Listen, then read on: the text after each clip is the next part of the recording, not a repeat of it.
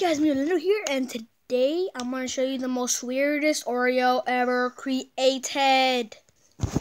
It is the white Oreo. Look at it, it's so white and shiny. It's so delicious. For real, look, it has the white on the outside, but when you eat it, take a bite, take a bite, take a bite.